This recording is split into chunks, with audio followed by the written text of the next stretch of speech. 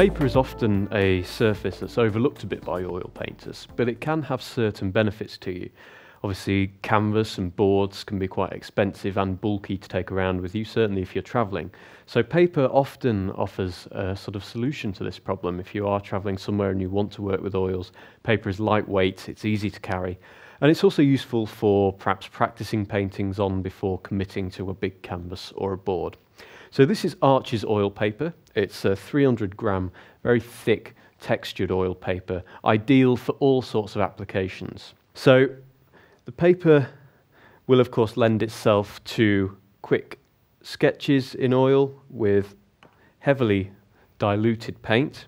So you can quickly sketch in a composition much as you would with thinned out oil on any surface. But the paper is very useful for applying heavier oil as well. So you can happily apply quite thick strokes of oil paint to this paper without any fear of it buckling or crumpling under the weight of the paint.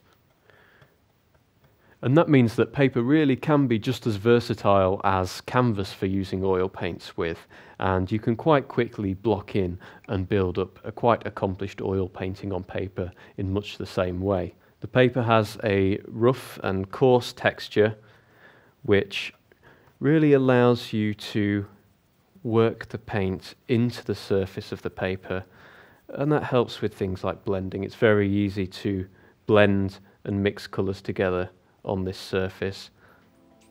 Again, using the paint both thick and thin as you need to.